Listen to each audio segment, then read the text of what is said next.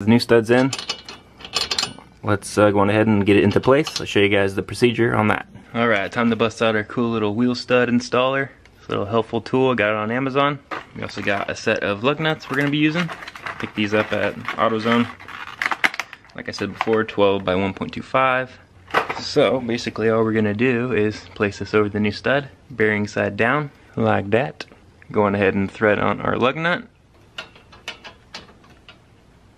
That right there is the tool and lug nut ready to be impacted on. Um, I'm going to be using my cool little Makita impact driver.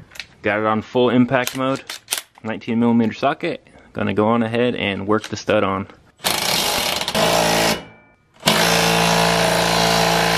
Couple more for good luck here. And voila. New wheel stud is installed.